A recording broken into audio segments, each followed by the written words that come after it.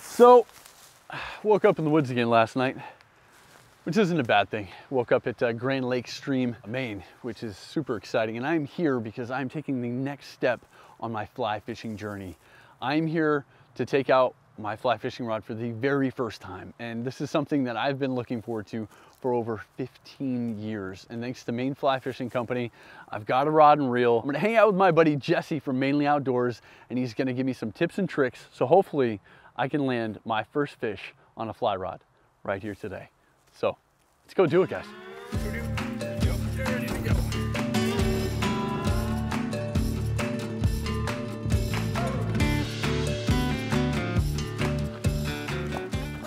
What are we fishing for today? We're gonna be going for some landlocked salmon and probably some brook trout. We might even get a togue, which would be extremely Ooh. lucky. Yeah, not the best time of year for it, but Might be there. might be there. You never know. So why are we here? Uh, so this is one of my favorite runs. I come here just because I think it's a really beautiful area, and the trout tend to hold up really shallow. So as long as the water temperature is still low enough, although it is getting higher this time of year, we'll check to make sure it's a safe temperature to fish for them. But they like to hang out right in this feeding lane, and there's really not many features. And there's just fish scattered throughout it. Yep. So hopefully they're going to be there, and hopefully we can convince a few to come up and uh, give our flies a look, see if we can't get Jeremy on his first fish here. Full disclosure, I already tested the water. I don't have the waders today, so I think it's gonna be warm enough to make this work. So it should be, it should be very enjoyable all day. Watch the footing. Are we gonna go over my knees, you think? Ideally, set you up with some dry flies, but for now, midday, you know, sun's totally out. Fish tend to feed under the water, so. For starters, we're just gonna go with a simple indicator rig. I usually like to use one larger fly just to help get everything down there. So I like to use a stonefly, imitates hellgrammite, stoneflies, you know, big mayflies, pretty much anything. So it's a good pattern to get down there. And then last time I was here, this fly in particular was working really well. Just a simple hare's ear with a lime green body.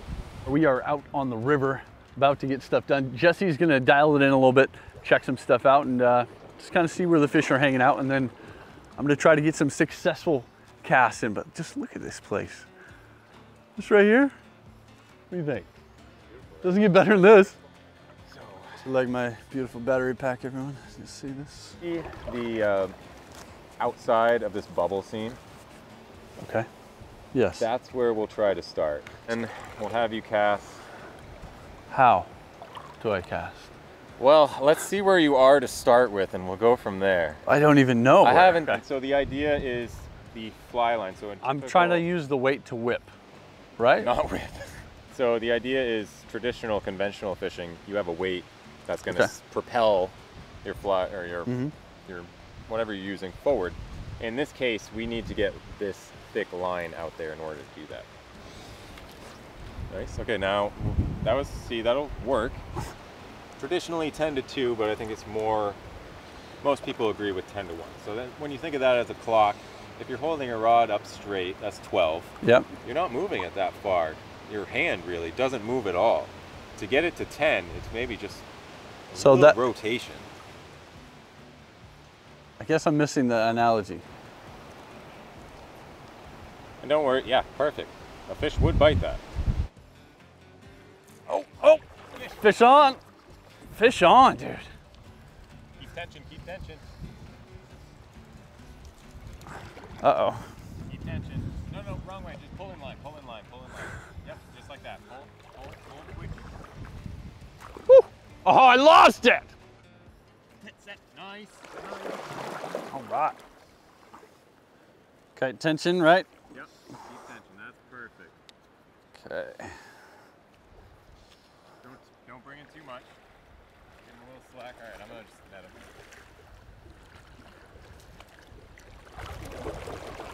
Now bring tip up, tip up, up, up, up, up, up. There we go. Oh, look at that. All right. That was absolutely phenomenal. To have my first fish on this fly rod be that guy right here. Jesse, I can't thank you enough, man. Now I'm hooked.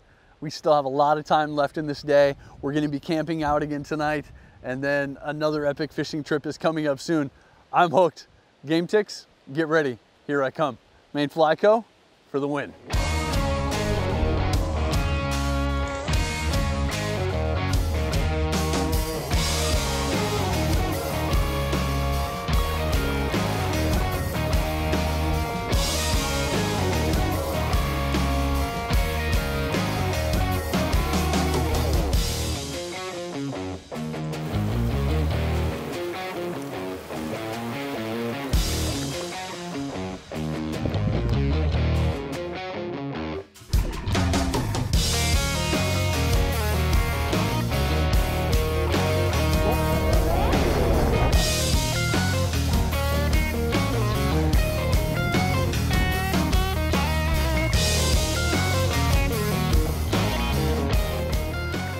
Been an incredible day here on the river, and uh, it's time to get back to camp. Well, there's a lot of fun things that are happening right now. We are heading from here, and we're heading over to Weston, Maine. We're gonna do some more fly fishing. We're gonna gear up, hit in the truck, and get out of here.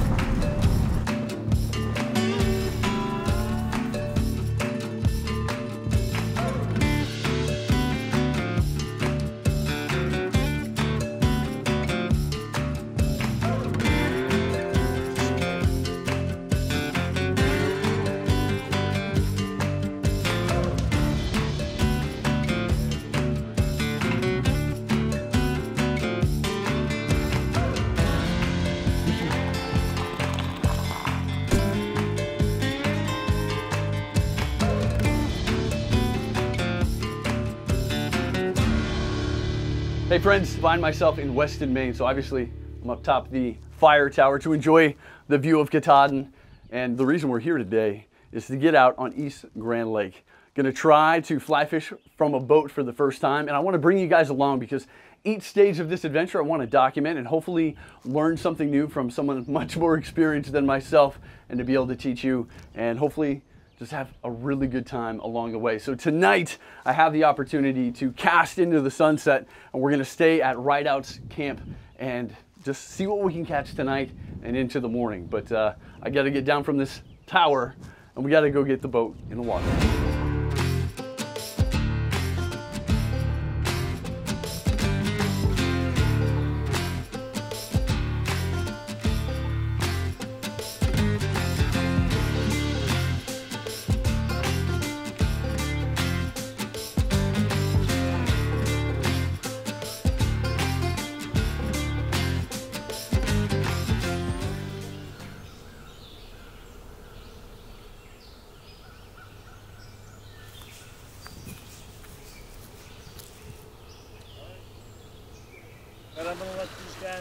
In if they want to. Then we'll come up here.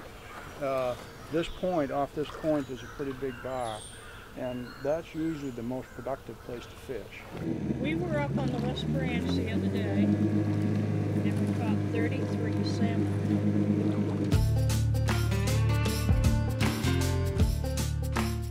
But welcome to beautiful East Grand Lake. Great fishing and just great clean water. It's nice, pristine. I think it's Maine's third largest lake.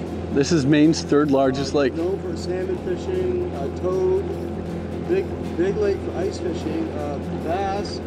Gentlemen at Rideouts there this past week caught 200 bass in one day. 200 bass in a day. hands- he was sore from all the action. Oh my That's gosh. problem to have when you're a fisherman. Right here on East Grand Lake. Think we have a fish. Oh, fish on, fish on, fish on. Oh, come on, no! Thing, thing is, there's a little bit of chop on top of the water, and I usually don't know what I'm looking for, and I get all excited because I see it through the wave, and it's a little one, but it's still there, and I'm like, I can cast to there, and I'm like, boom! I throw it, lands right on top, comes up, takes it, set the hook, and then I go too fast and I ruin it again. So I went too slow, and I went too fast. I gotta find that sweet spot.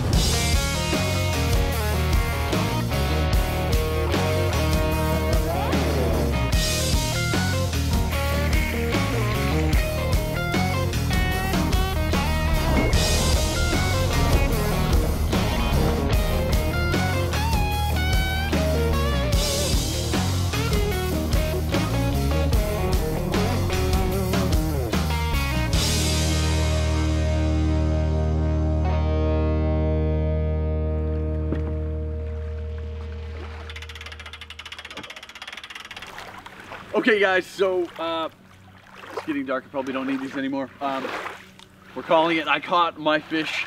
I'm so, so grateful. Uh, Jesse and Dave, they were able to hook a couple more and Albert and his wife were able to catch quite a few more, but I was able to get that one and it was worth every single bit of effort. And I would go out and do it again. And I'm going to go out and do it again. And I'm gonna get better and I'm not gonna be afraid to look like a fool. So come with me, let's go fishing, let's get better. But until next time, keep casting.